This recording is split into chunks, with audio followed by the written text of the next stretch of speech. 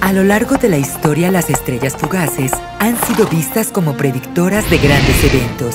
Y este año, una de ellas llega con un amplio espectro de conocimiento para cambiar tu visión en temas como libertad, innovación, economía, educación, salud, prosperidad y liderazgo.